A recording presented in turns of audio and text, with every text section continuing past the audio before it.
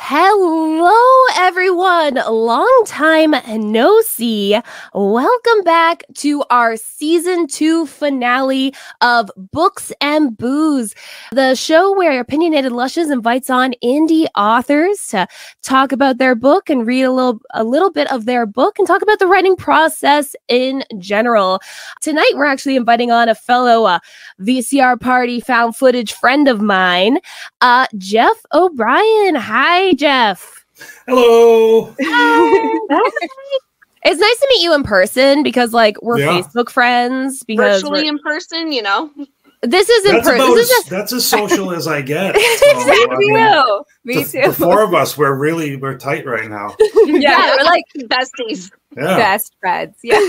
I'm scared I'm gonna like give you guys what I have. Like that's how close we are. Is it? like, did you have bronchitis? yes. I I woke up January first. This is how I started my year. I just lost my job, and then I like two days before Christmas, and I woke up January first with a fever, and I had bronchitis for three solid months. oh, Yeah. So I, I know how you days feel. off. a hundred day cough. Yes. Yeah. Oh my god. Well, It's a thank- real thing.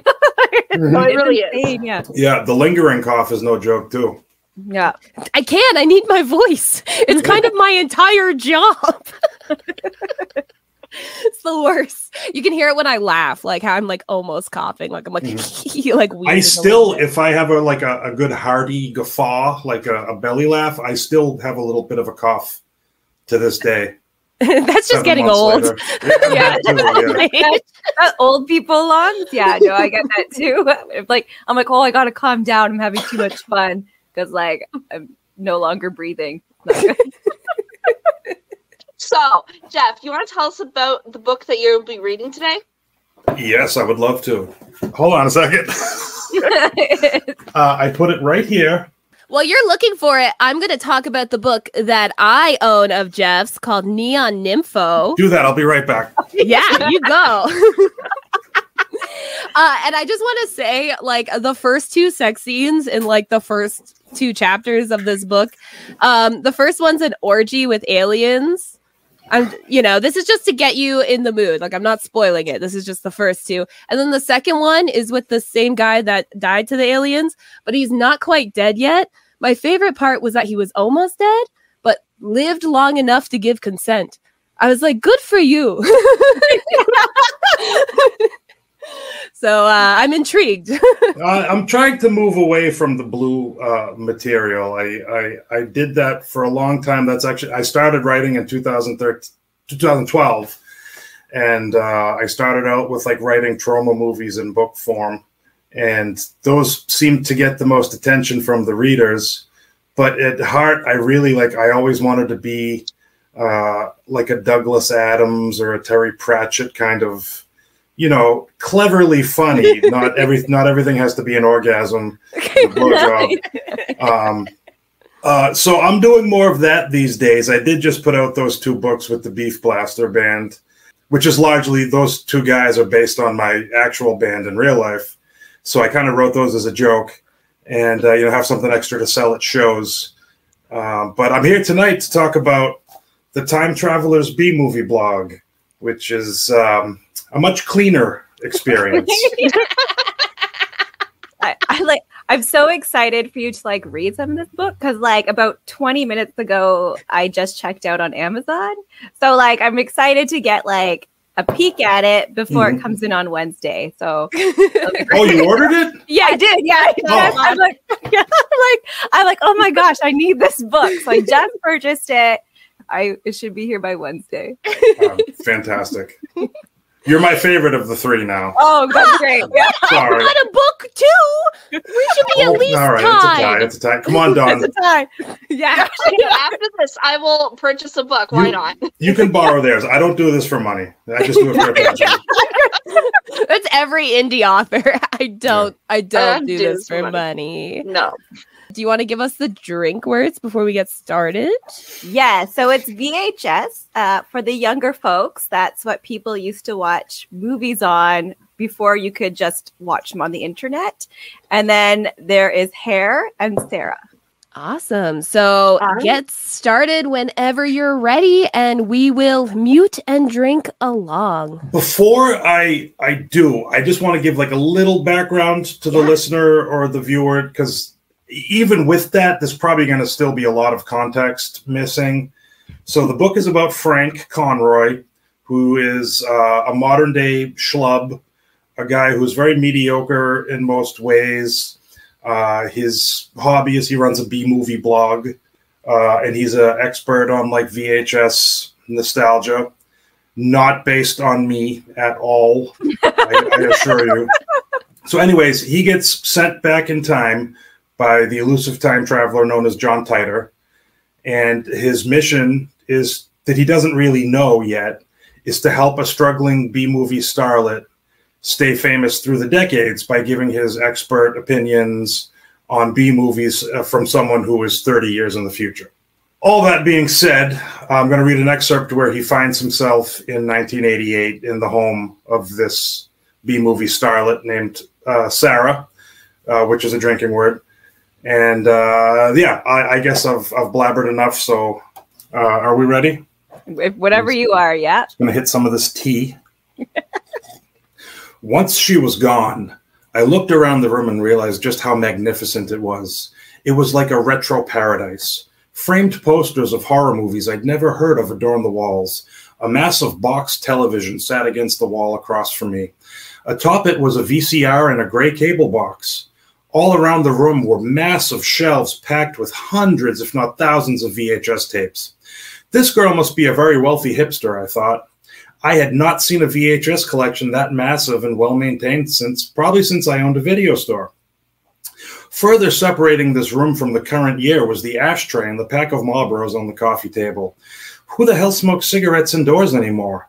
And who the hell has a stained glass coffee table with claw feet? I figured I might as well make myself comfortable despite not knowing how I even got wherever the hell I was, or even when I was. So I reached over next to the couch and opened the mini fridge, only to find more mystery within it. Cans of Pepsi and Budweiser were stocked in there, but the cans were retro. Whoever she was, she certainly made living in the past look fashionable. I grabbed an old fashioned can of Pepsi and patiently awaited her return. A few minutes later, she was back.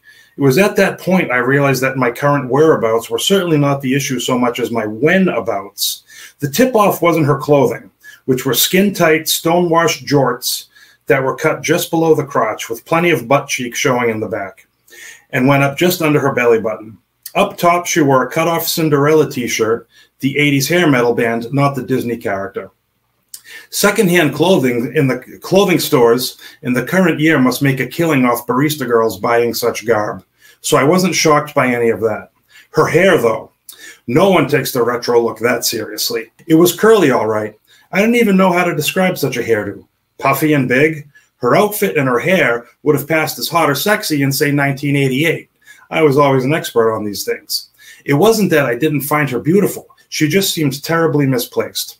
She took a seat next to me on the couch, pulled her feet up and crossed her legs, and turned sideways to face me. She lit up a cigarette and inched a little closer. Trying not to make my attraction awkward and obvious, and not become entranced with her chest that was heaping out and looking like a creep, I glanced around the room and said, Wow, you have a massive set of. Let's get round, right down to business, Frank, she said, cutting me off. Save the pervy shit for later. Okay, I said in confusion, turning back to her. It's 1988, she said. I had a feeling that was the case, and I probably should have guessed it sooner. This, of course, only gives me more questions, since this definitely is not a dream. Your questions will be answered in time, Frank, and no, you are not in a dream. In the meantime, let's just talk about why you're here 30 years in the past. Yes, let's, I said. But first, you mind if I bum a smoke? You're a smoker, Frank? Well, I was. I quit in 2013, but since it's 1988 now, I guess it technically doesn't count. That's pretty sound logic if you ask me, she said. By all means, help yourself, dear. Now, looking around you, you can probably see that I'm a very wealthy woman. Yes, I said, and then lit myself a cigarette, saving the glorious first inhale. That's pretty clear to me. Are you a movie star? Sort of, she said. Not quite yet, but I'm going to be. Around you on the walls here are posters of the movies I've done. I was paid well for them, as you can see by my lodgings, but they have yet to see the light of day. Well, I guess I got paid most of that money from those other kinds of movies I did before these ones on the posters, but that's neither here nor there. I also come from a very rich family. That was a big help with me trying to get started here in Hollywood. But that's not important either. Those other movies I'm referring to may never see the light of day, and I'm perfectly okay with that. But the movies on these posters will, and I'm going to be a big star, and I'd like it to stay that way. That's why you're here, Frank. Okay, I said. And you have no idea who I am, I'm guessing. I'm afraid I don't, miss. Sorry. This is just what I feared. She sighed and looked away. I'm so glad I found you. Uh, am I supposed to be able to help you in some way? I sighed, growing further befuddled by the moment. I'm not sure what I can do. It cost me a lot of money to get you here, Frank. I certainly hope you can help. Well, why don't you start by telling me how I can do this? Telling me who you are might help too. My real name is Sarah. Sarah Bartlett. That's two drinks. But that's not going to do you any good, perhaps. Perhaps. Perhaps what? I said. Perhaps. She let out a giggle and turned her lips into a devilish grin. Perhaps I should just show you. Show me what, Sarah? I'm going to go change again. Sit here and relax for, well, when the clock on the wall over there strikes 10, I want you to get up and go down that hallway over there. The last door on the left is the door to the basement. Go down there, and I think your memory will be jogged, I hope. Otherwise, this has all been for naught. Okay, then. Feel free to turn the TV on. Sounds good, I said. Say, before you go, do you mind if I take a look at those that massive she leaned over and kissed me on the cheek, cutting my words off. I was certainly puzzled by that, but was not going to complain. There'll be plenty of time for that later, honey. She jiggled her breasts in my face and then turned away for the door. I had no idea what was going on. Later, honey, like I said, she wandered out of the room and down the hallway, leaving my question to fall flat before completion yet again. Now alone, I looked for the remote control so I could kill the 10 minutes by watching some television, hoping to delight in some old 1988 commercials or maybe be lucky enough to catch a few minutes of some long forgotten show or TV movie that had fallen into obscurity. I remembered then that it was 1988, and even though this Sarah Bartlett chick could clearly afford every conceivable luxury, it made sense that the remote control might not yet be one of them. I remembered that my parents hadn't acquired one until at least 1992, so I got up and turned on the TV the old fashioned way. I was pleased to see that Night Court was on, so I sat back down and enjoyed the antics of Honorable Harry T. Stone for a few minutes, which then segued into the classic Where's the Beef commercial. The clock struck 10 faster than I hoped it would, for I found myself quite content basking in childhood memories in person as they were actually happening in real time. How often does one get to do that? With great reluctance, I got up and turned the TV off and headed down the hallway toward the last door on the left. As I opened the door and started down the stairs, I felt as if I had once again stepped into some kind of supernatural occurrence. Heavy fog filled the air, obscuring my vision. Since not much else about this day had been even remotely normal, I continued on undeterred. Once I reached the floor of the massive foggy basement, it finally dawned on me. The how and the why, not so much, but the where and the who were clear as day. Directly in front of me were several heavy duty video cameras mounted on tripods. Beyond them, through the thick clouds coming from the fog machines, was Sarah, sitting on a throne. She sported a tight and rather revealing black dress smoking a cigarette and drinking a glass of wine. On her head was some kind of Egyptian headpiece and a black wig with straight bangs, which she looked way, way hotter in. Her face had been decorated with makeup to give her the appearance of a Hollywood Egyptian queen. Off in the corner was the gold plated sarcophagus with the gigantic boobs. Welcome to the unknown, she said. You're Mistress Osira. Thank God, she groaned, breaking character. The picture and the sound on the VHS I bought were so bad that I didn't even recognize you without your costume on. Not surprising, Frank. This never was a production of great quality. Anyways, I think you can help me. Help you do what exactly? I asked. For now, just help me make my Halloween special for 1988. It's been made already. I got the VHS and saw it last night. Last night for you was 30 years from now, Frank. Remember, it's March of 1988. Oh, yeah, kind of forgot I'm like six or seven years old right now. I don't know what month it is.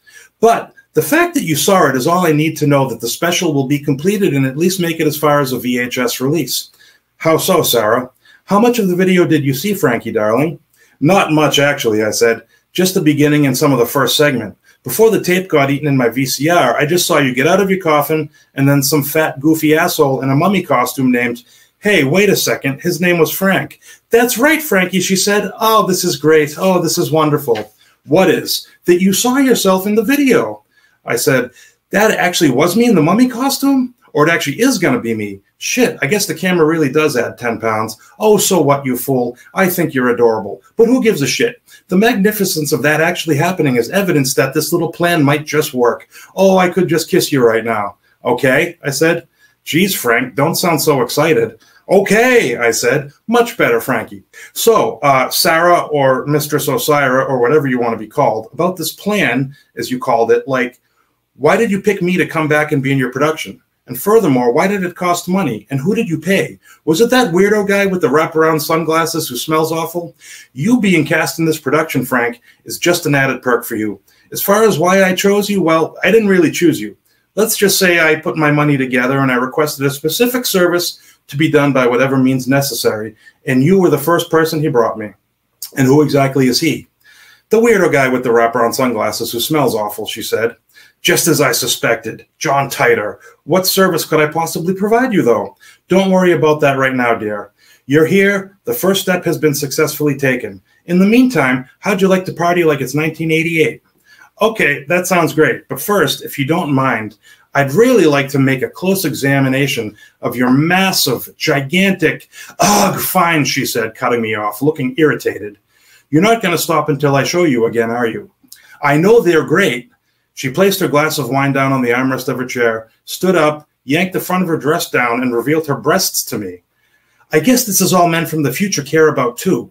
You can see them all you want. It's not like I haven't shown the rest of the world, or at least the few who have seen the porn I've done, or actually watched me on late night pay channel shows, or saw advanced screenings of my movies. Um, Sarah, I began, thoroughly embarrassed for the both of us. I was just going to say I'd like to take a look at your gigantic, massive collection of VHS tapes. It's quite a novelty for a guy like me who lives in the future. There we go.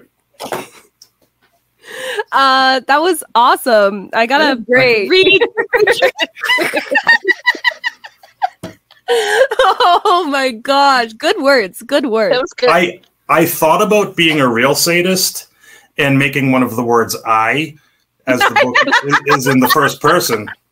But uh, I didn't want to be responsible for liver disease uh, Yeah. for any of you. It's So. appreciated. Yeah. My yeah, we appreciate yeah, the care. don't- I, don't Thank feel like having cirrhosis. I'm good. Right. yeah. too, too old for that. Like it, Yeah. And I- here I am, uh, a recovering alcoholic with three three people just slamming them down in front of me. yeah. I'm drinking We warned you. Oh, good for you. yeah, Dawn's just getting hydrated. She's she's just No. drinking water, so you're fine. Yeah. You're fine. I'm not.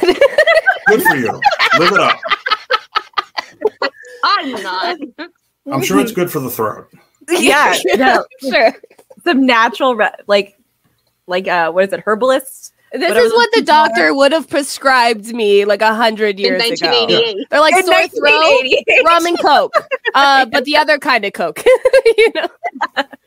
Uh, Oh. so you said you started writing in 2013. Like, was there like a catalyst for that? Like, just Uh, a, you were just like, I'm doing it, or were you just always wanting to release a book? Or Uh, well, if you look at my Amazon bio, it says I woke up on January 1st of 2013 and realized that the Mayan doomsday prophecy didn't play out. So I decided I had a new a new lease on life and that I would start writing. The truth is, that was actually the first time I quit drinking. And uh, so I started to like, you know, I'm I've got to replace this uh, habit with something. I've always wanted to write. I've made a few attempts at it before, but now I have all this free time to to spend, and it just clicked, and uh, and that's uh, I spent literally all my time uh, doing that, and it was a great replacement that's very great. healthy, very Yeah. healthy. until Yeah. five. That was during my first marriage, and then five years into that, I kind of started drinking again, and uh, now I'm back. Five years clean. Yeah. Well done. Well Thank done. you, thank That's great. Yeah. Yeah, that's amazing. It's hard. And you wrote a whole ass book. You wrote a few books like that. Yeah, Always so many us. Like, books. We're like, I Yeah. still can't even write I one. But I, okay. I don't get these like legendary alcoholic writers like say Bukowski. Like that guy was lit, that guy was lit every night, and you know if I'm even merely buzzed, I'm just thinking about making a fool out of myself, not sitting down and like typing words. Right? like it's- with- when like we drink once in a while and sometimes i have too much and my brain isn't functioning it's like go mm-hmm. to bed bitch like there's nothing else there's nothing else being productively done, it's like go to bed. Yeah. That's it. Like, I, I live stream. I go on I go on Twitch and I'm fucking drinking away playing video games and usually it ends because I spilt my drink because I forgot the rules and knocked something over, you know. So yeah, writing words is definitely a, a challenge. Well, Yeah. you know, S- Stephen King doing all the drugs. I'm like, how? Like Yeah, I, I, I- do drugs, I just want to dance. Like, how are you just writing words? Speaking of your Amazon uh, profile, um, it says that you're in a band. Yes. Meet. Is that Meet. still still going on? Like Yes, how it is is. that? Yeah. Do you want to talk to us about your band a little bit? Okay, meet. We're uh, we're a two piece band. Uh, I play bass, uh, heavily distorted bass and scream, and uh, my friend Ryan is the drummer. And uh, we've recorded two EPs. We haven't played any shows yet, uh, but those are in the near future. And uh, So if anyone's looking for a wedding band, yeah, uh, yeah, we have uh, songs with good wedding titles. One is uh, Rush Limbaugh's corpse tastes like ham. Um, another is uh, beef queef. Mm, I like that. I want to walk down the aisle to that, you know? So yeah, I mean, if you got a, a, a kid's communion or a, a birthday parties or whatever, if you can't afford a clown, we'll come. We'll we'll do it for half that price. What- Whatever the clown was charging, you do Yeah. have. We, Yeah. we will cut it right in half. Good to. Speaking of clowns, I do want to say I love your killer clowns in the background. Yeah. Uh, that's Sonia's favorite movie. Mine too. yeah, from all, all time. It's just like, oh, it just makes my soul feel so happy. Yes, I've probably watched it in the vicinity of thirty times. It's just it's a feel good, happy place. It is. Yeah, like it's so it makes no sense, but in a good No. way. yeah. Who- Who needs sense? You don't. You don't. You know, You don't get to bog everything down with like you know rationality or meaning or No. even coherence. no, exactly. Just The beauty like, is is chaos. yeah, Chaos is beauty. Whatever. same thing. Yeah. so your books, they're not like they're they're different. Where gets like I'm trying to think of good words here. What what is your muse? Like what like made you think of these topics? Um. You see, I'm interested in a lot of things. Like super passionate. Like one of them is like the VHS era. Uh, another is, I mean, of course, there's a million horror novels in the world, but there aren't really any. I mean, a lot have popped up in the last 10 years or so. But I mean, there aren't a lot of horror novels that are like a, a very low budget shot on video horror movie. Yeah. And I always like my one outlet, you know, that I'm good at or good enough at is writing. And I write what I want to read. Like, I would love to read a novel about a guy who goes back in time to the 80s and meets uh, 80s B movie starlet and helps her career. Like, I would love to read that book. So I basically I write what I want to read. yeah. I think that's that's my main impetus, if you will.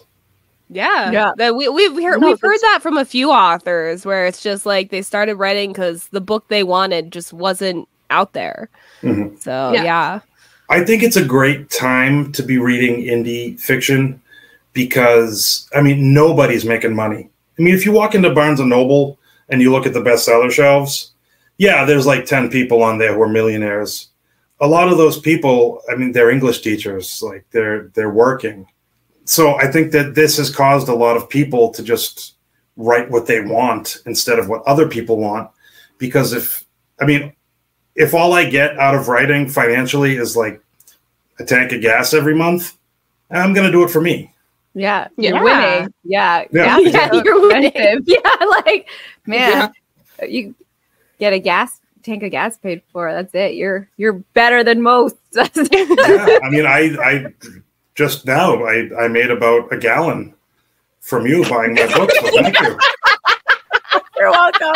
The- now you can go to every, 7 every book sale is is about equal to what the sign, the price says on the sign at the gas station. So Yeah. much appreciated. How long does it take you? Because just because you you've been writing for what just over ten years, um, and uh, you have so many books. How long does it take you on average to like finish a book to completion? it all it, it depends. Usually, um, every time I finish a book, I spend about two weeks hating the world because I don't know what to do next, and I can't write. I can't get my brain together. And then uh, maybe about the two and a half to three week mark, something just clicks, and I pound out a book in about six weeks to two months. nice. Yeah. I mean, you know, they're they're Yeah. short, so you know, it's not like I'm like doing anything, you know, any epic tomes or anything. But um, I usually shoot for about 150 pages, 40,000 words. You know, novella. I think 40,000 is actually the bare minimum for novel status. Mhm. So I usually I shoot for like 40,000 and usually end up with about 37 or 38. Yeah, only you're forty thousand words, like Only, only. only. Well, it doesn't. I mean, that that sounds like a huge number, but when you, I mean, words on a page, you know, like this time traveler is like thirty-seven thousand words. It's you know, it's pretty thin, and the you know the Mhm. fonts are kind of kind of big for you for an average book. So it's a big number, but it's They're- not a lot. They're readable for like older folks. Know, it's not tiny. It's good. Yes. It's good. Yes, Yeah. that's. I, I, I have actually people have told me that they they prefer Kindle because they can adjust the size because a lot of books are hard to read because let's face it, we're getting older and our vision is going. I'll use No, a it used to magnifying be- glass before I go to Sonia fucking Kindle. fun of me. She sees my Kindle and like the size, and she's like, "What the hell?" And I'm like, "Listen, I need it for my eyes." I'm I'm a fan of the Kindle. Like I still I still buy paperbacks, but I can read in the dark. You know, my wife can be fast asleep right next to me, and I'm laying there with my Kindle. You know, because you know, you f- I, if I read paperbacks, I'm on the couch in the living room, and I like to read to fall asleep. So I start falling asleep on the couch, close the book, get up, and by the time I've made it to the bed, I've tripped over the cat, or had to lift the cat out of my spot in the bed and then I'm wide awake again. So with the Kindle, I can just put it down and and doze off. Just pass right out. It's. Yeah. So you're like I I have to have a book always, like a holdie. I don't know. I like I get distracted reading the Kindle. Like I can't uh I, I can't stay focused. I don't know. It's weird. My brain is unable to work that way. So like when people are able to use the Kindle, I'm like, oh, I'm so jealous because I know, It'd I'm be so great for my like bookshelves and yeah, my, my pocket book or whatever wallet. If I could do Kindle. Took a lot of getting used to for me.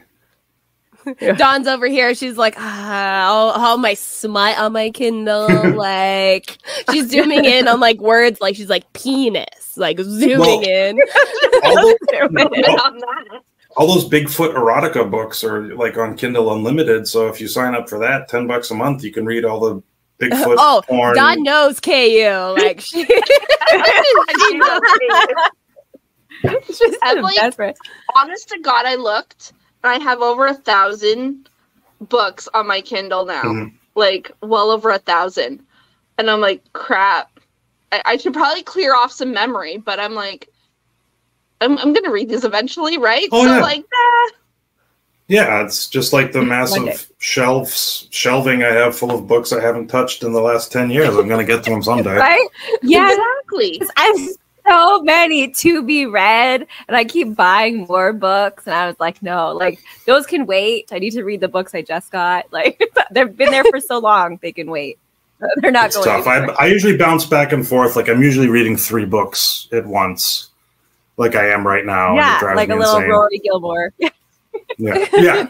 You get like the Not that I ever watched the Gilmore Girls. yeah, I'm sure. Yeah, yeah, I know. No one has. No one has. Not No, that I- every girl I ever dated over the last 15 years made me watch the Gilmore Girls. We So all had mommy issues. Like, that's why we watched it. Yeah. maybe that's what I liked about it. We're But like yeah. generational trauma. We're fixing that shit. Like, that's why we're watching Gilmore Girls. What Ah. advice would you give someone who want to start writing? First would be don't take advice from a completely unsuccessful hack like myself. Um, second would be uh, the biggest complaint I hear from people who tell me that they want to start writing is, "Well, I don't have the time." And I said, "I say, look, I'm not trying to sound like a hard ass here, but you have to make the time. I Mhm. if you stay up all night writing, and you're dead exhausted at work the next day, but you can't wait to do it again and pound the coffee and stay up all night writing again just to be miserable at work again the next day, then you you, you can be a writer. But if you're just gonna I mean, it's. I mean, not that I know anything about working out, but it's like if you're a bodybuilder, you got to do it every single day, even if you don't feel good. It's. Yeah. I mean, and I I, I don't write every day, uh, mostly just on my days off. But I carve out about six hours where I probably should be doing other things like cleaning this apartment or whatever uh, that I neglect. You have to you have to be neglectful uh, in other areas of your life to write because it's a very time consuming venture. And if you're not willing to sacrifice some things, um, may might not be the path you want to take. But yeah, my, my number one advice is just make the time, sacrifice a, a night's sleep. Yeah. It could result in a great book. You know, if you if you finish writing a book and you sell it and people buy it, you're not going to be thinking, "Oh boy, I wish I'd gotten a good night's sleep six months ago." No. Yeah. You say, "Oh my god, I have this book here, this product that I finished. It's a work of art, and now I can show it to the world." And now I'll sleep for a couple nights and I'll write another book and Yeah. be exhausted again. It's a You don't need to sleep. sleep when you're dead. That's it. Yeah, Who's sleeping anywhere? Anyone this, these days? Like seriously, no one's sleeping. No, I'm just too stressed. Time to scroll TikTok, watch TV, play video games, read. I'm at the Yeah. point now. I'll, I'll have my last cup of coffee or tea at like nine o'clock at night, and I'll be fast asleep by eleven, unable to stay awake. I'm so, So. I don't know. There's just like I'm immune to caffeine and That's anything else that could ADHD. possibly. ADHD. Oh, yeah, that's me. You know, I, they tested me for that shit when I was in high school, and I guess they didn't know anything about ADHD, ADHD in the '90s because now I look at these lists of symptoms, and I'm like, I check off every box. Yep. Back then, it was there were like ADHD, like there. So it's like you had to have that hyperactivity component, especially if you were male. Yeah, And so if you just had the ADD, they were like, "Oh, you don't have ADHD. You're fine. You're fine." No, you're just lazy. That that's that's uh, that's Yeah. what Yeah, teachers that's tried they to tell me. yeah. no, I just got diagnosed last year, like an actual diagnosis. Like I've had obviously had it my whole life, but like last year I was like as a grown up, I'm like, listen, I just I need some help because my brain isn't Mhm. doing what it should and uh lo- very helpful. Lots of medication. I people should be on it. I feel Obviously, I'm like not on it right now, but yeah, people should be on it. I feel like I don't need the diagnosis, like because I don't really want to do anything about it. Like Yeah, I've gotten yeah. it, I've made it to my 40s, pretty okay. You know, I'm on medication for anxiety. So, do I need another pill? You know, whatever I'm doing, it seems to be working. I've got a roof, a wife, Yeah, yeah. a, a job. I'm holding it together okay. So, I'll just be undiagnosed and not be able to finish reading the directions on the, shelf that I buy You from don't- you Target. don't- you don't need it. You don't. It's fine. yeah.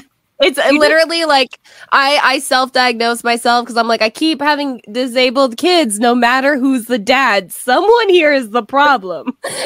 so I'm like I'm pretty sure it's me. Um but I'm like yeah, I'm not going to do I'm not going to take medication um because unfortunately I'm not sober. So I don't want to take medication and drink at the same time. That is my safety. So uh yeah, if so just hey, if what you're doing is working, right? That you don't need it. You judge. don't need it. yeah. So you have written like so many books, and all of your cover art is completely different and creative. Uh, there's so much detail into each one. Do you like have somebody specific that does your cover work for you? Or? Uh, a few people. Um, uh, I've written some serious horror novels, and uh, I have a friend, Don Noble. He works for uh, Rooster Republic Press. They're a publisher, but they also do. You know, he does freelance cover work, and uh, his he does some great graphic design that just looks great. Because whereas I've written in different genres, I like the cover to kind of tell people what they're going to get. So, like, say for example, here's here's Big Boobenstein this is this is a, a, comedy horror novel. I think the cover tells you that. Like you know that's gonna be funny.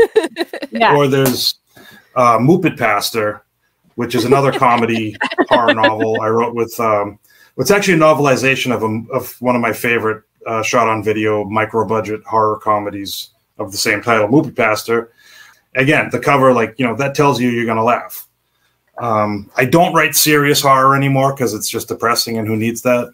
But you know, you'll see if you see a book with like a a grizzly skull on it or something, you know, then then you know that you're going to get um, serious something serious. yeah. Um, but for these these two, you know, I'm just sorry for all the product placement I'm doing here. No, no, it's no, that's, fantastic. That's why you're yeah. here. That's your job. It's these, fine. These were designed by my friend S. Edward Sloan. He actually runs a graphic design company called Hauntwares, uh, which you should check out. He makes like the cutest, like horror themed T-shirts, like cute bats and cute skeletons and and stuff like that. And he's just a tremendous graphic designer. And I'm also giving money to a small business and to a friend.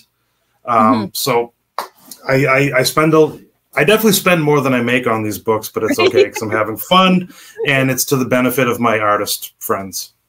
Yeah. yeah. we can even no, put a link sense. in the description to his stuff too if he if you if you'd like that. Oh yeah, I'll ask him. So yeah, hauntwares.com. Pretend the link is right there. And, uh, Oh, it's great. No, I just love how much detail is into them because, like, you don't really see that a lot anymore. It's like a back, a black background with a swoosh of color, or or it's AI, or AI. Oh, like I have. Oh, oh, don't even get me started on that shit. I oh. I have I have lost friends over AI. I have some writer friend, had some writer friends, and they're just slapping AI on their covers, and I'm like, this is theft this is yeah. taking art that is copyrighted and turning it into something else. There was even one instance where an, an artist's signature worked its way into an AI book cover. So if you're messing with AI, we ain't pals.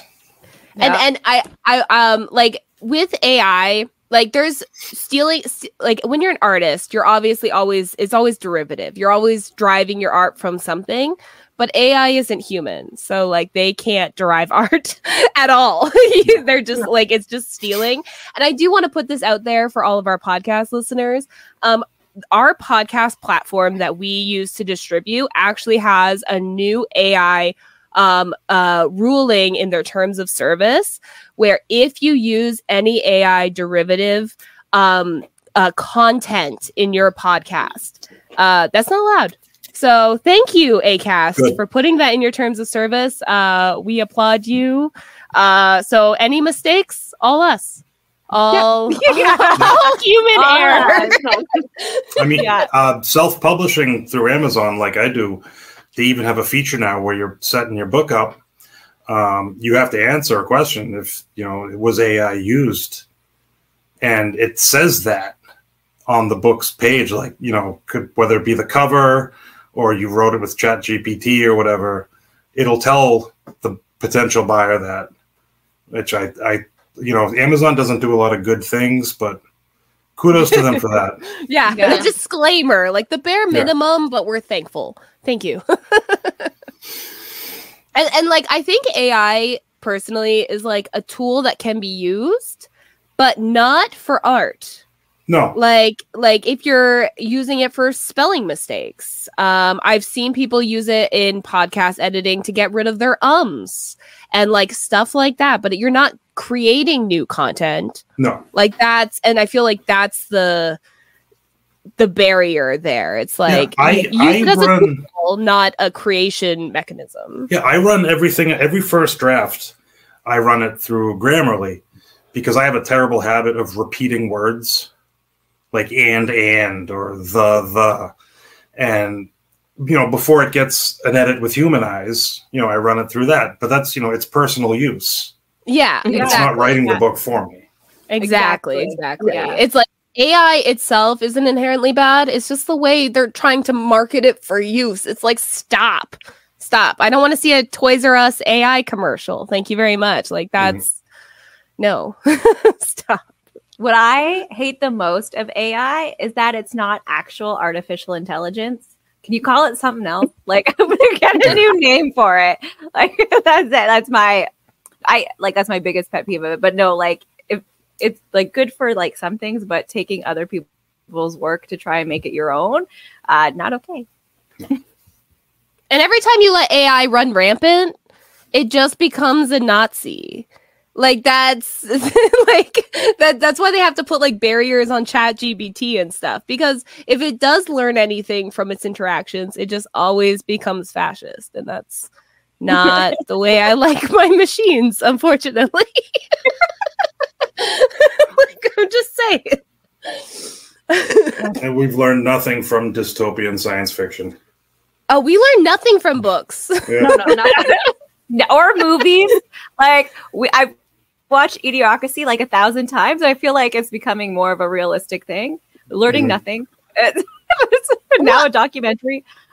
uh, you know there we talking about like books and stuff like we um like the handmaid's tale I, I keep seeing people being like life is becoming the handmaid's tale and it's like have you never seen a margaret atwood interview every time she's like nothing in this book hasn't already happened it's like so stop saying it's gonna happen because it's already happened it's Yeah. already happened that's like a realistic thing but- It's already happened and it's only going to get worse. Hundred percent. Sorry Yeah. about your country. I saw the debate. I wish. I mean, I know you you told me some other things about Canada recently. Um, all that being said, I'm still look. I I had no insurance. Um, I had my had to have my kidney removed a couple months ago. It ended up costing about twenty five thousand dollars. Oh my uh, god. So I'm still I'm still jealous of you Canadians. that that's that's fair. That's insane. I like that fear of maybe tomorrow I will need emergency surgery and like I have it covered. It wouldn't cost me anything. But Mhm. like Yeah. to have that fear, I just like I could not handle that type of stress. Was- Yeah, you know, you don't think about it until it happens. But I, of all days, I woke up on April Fool's Day. Oh no. Jokes on you. yeah, took a piss, looked down, it was red. Oh no. Uh, 12 hours later, oh, yeah, you have cancer in your kidney. We're taking it out. Oh, That's- I was more, and that's funny thing is, I was more concerned about God, what is this going to cost? Oh my yeah, god. like- yeah. That's that's horrible. Yeah, that that's like really I rough. like sometimes I'm like, oh man, I'm so jealous of America. They have all these different cereals, you know, but like there's like a there's an underlying like you know bigger issue there. It's It might have something to do with the cancer, but we, we Yeah, have like very all good this- cereal. yeah, all the cereal. You have all the cereal, but you can't. All your you know, fast food joints. I'm like, oh, I just want to try this place, this place, and this place. yeah, you can get all the McDonald's you want, but no insulin. So you know, good luck. Yeah.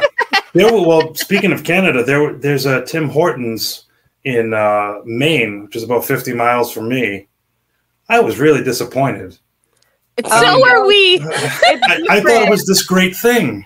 It is No. not in America. Okay. It's Is not it- great anymore. Okay, it's bought out by an American company, so it is American owned.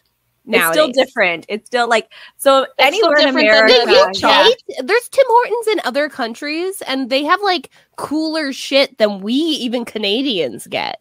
No, Yeah, It's yeah, that's true. Insane. America just doesn't know how to make coffee. Go to any coffee shop and the coffee is garbage.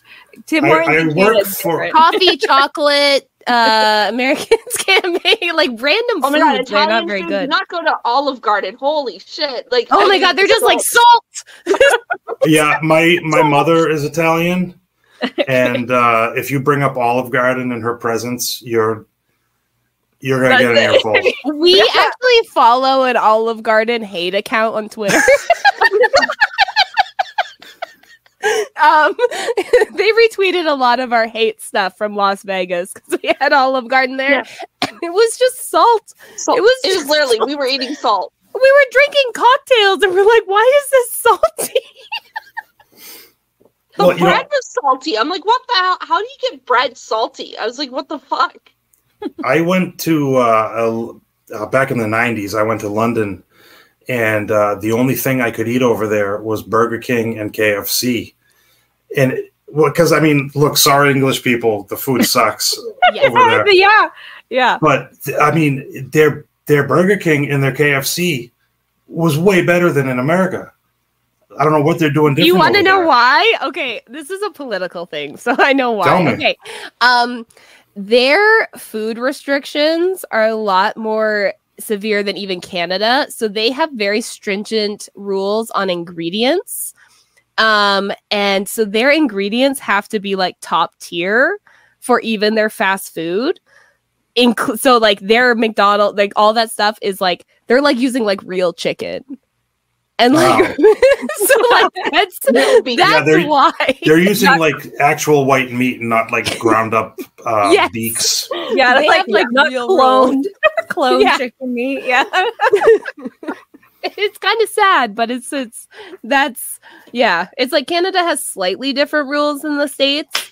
So like our pop tarts are slightly different, our Kraft Ooh. dinner is slightly different, that kind of thing. Yeah. But the UK has like even stricter rules, so they're like real food. But like the America's KFC is way better than Canada KFC. Because That's because they get the good know. chemicals. I know because like you guys are allowed like the good They grease. cook everything in lard. Like, Yeah, Yeah. We don't care. We like, have it in oil. yeah. Like the states have good Oils like Again, chumps. jealous of fast foods and stuff, but not of your. to be healthcare system. fair, our healthcare, give us a couple years. Give us a couple years and we'll be caught up, okay? And then we'll be worried about, you know, emergency surgeries. We're close. We still have to we have to pay for blood tests now, certain blood tests and stuff. So we're getting there. We're getting there. Slowly but surely.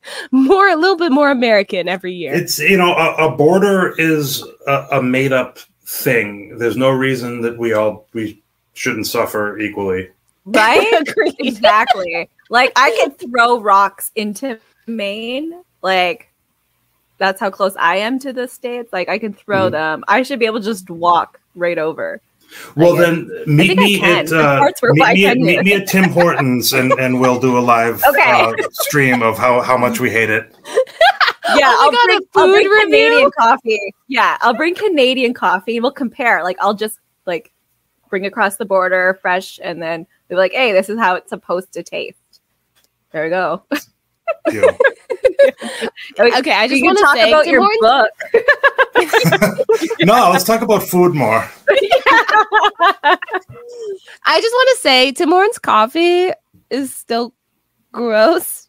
like even in Canada, it's better because it's not as watered down. I think that's the issue. No, it's different. No, so the, America has a stronger blend. So Canada, like we're still kind of like British. We like our tea, but we want it to be coffee. So it's like a breakfast blend. Like it's very, it's not as aggressive. Ah, so it's yes. Yeah. So it's you could taste it with like the cream and sugar. So it's good. It's, it's I like- work like a for a, I work for a fairly well known corporate coffee chain. Uh, I won't say the name, but Fair. we'll just say that their their logo might be a, a mermaid siren type of character. um, and if there's one good thing I can say about that company that I work for is they make some damn good coffee. It's like super strong. It you know, I don't want to taste any water. in my yeah. With No, Dunkin' like you don't want Donuts and water. Tim Hortons, um, it's like I'm drinking water with a hint of coffee. I mean, Yeah, that's the problem with American water. beer. It's all water. No offense, guys. You guys have watered down. Oh. I've never had the the shits worse than after a night of drinking Bud Light. Oh I, I oh don't my know god. what it is. like I think Okay, so I used to clean hotels, and one one time there was a guy like he left, and he so much Bud Light, like there's so many cases of Bud Light, but there was diarrhea all Oh, yeah. over the room, like that, like definitely. I was like, oh my gosh, like I quit. Like, no, thank you. That was my first day and last day cleaning that hotel. Like this, this Bud Light cases all lined up. I was like, oh, that's really sweet of him. Like he like cleaned pre Yeah, cleaned up he the left room. diarrhea. And that then was the least he could go in. Like he was he cleaned up with the bed sheets. You know, like it's no. Mm-mm. Bud Okay. Light, no, thank you. Molson Canadian owned by an American company. Like uh, every Canadian company is owned by like there's so many owned by they're American. They're American. So they're all jokes. If you drink Molson Canadian, it's also a watered down beer. Hence why I drink most of my beer. Okay, I, I I'm a PBR girl. I I won't lie, but when I have money, I drink from local breweries because that's where the good stuff is. Because everything else is watered down, American owned. PBR is is I just think I don't know maybe if it's just me like there's different types of drunk that I would get where if I drank different things Yeah. and if it was PBR I would always wake up in a strange place uh, not really remembering how I got there there was one incident where I woke up as one often does with a terrible hangover feeling a little ugh, in my stomach I was in my bed at home. I don't know how I got there, but I blame PBR for this. As one often does, waking up after a night of drinking, I felt a little gas. So I'm in bed, you know, I lift one cheek to let it out, and ow! It hurt. It felt like it ripped my asshole apart. Oh no. And so I, I'm like, what, what was it? What just came out of me? So I got up from the bed and I looked down, and there was a nickel there. so somehow, a nickel, an American nickel, that's a five cent piece. We Uh, we have a Canadian nickels. Don't worry, yeah, ours have beavers. Oh, um, animal. somehow. Oh, oh I, I, thanks for yeah. clarifying Yeah, that. yeah. Yeah. Um, somehow a nickel got up my ass, and I blame PBR. That's fair. Okay, I drink PBR strong. Like when I drink beer, it's PBR strong, so it's five point nine percent. And I always wake up in a strange place. It's always my bed, but I'm always like, huh, hmm. I feel like I did something embarrassing. I don't know what. I'm in my house. I didn't go nowhere, but something somewhere I was embarrassed. And usually my husband comes in and he was like, "Oh, you left the fridge open after eating an entire tub of Greek yogurt," you know, and I'm like, "Oh, well, there we go. That was the embarrassing thing." You know, I'm like, "There's something. I did something." I, I'm just imagining Greek a tub of Greek yogurt and like six or seven PBRs oh yeah. oh, you're imagining right. Oh no. And then like the nickels, like just add those too. yeah. and I'm pulling them out. Shit's expensive these days. I can't fucking waste those five cents. Yeah, like Inflation. no, like you're keeping them. Yeah, no, it's that's like insane.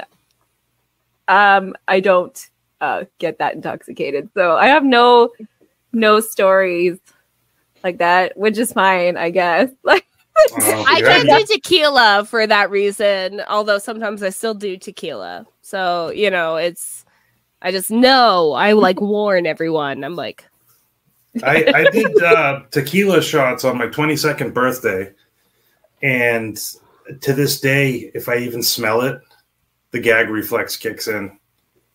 I'll, I'll Oh. remember. Fireball.